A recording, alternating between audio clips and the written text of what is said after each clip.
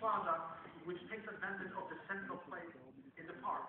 Uh, this is a, a- building that is, actually has a repetitive a floor plate, a strong concrete core, lateral bricks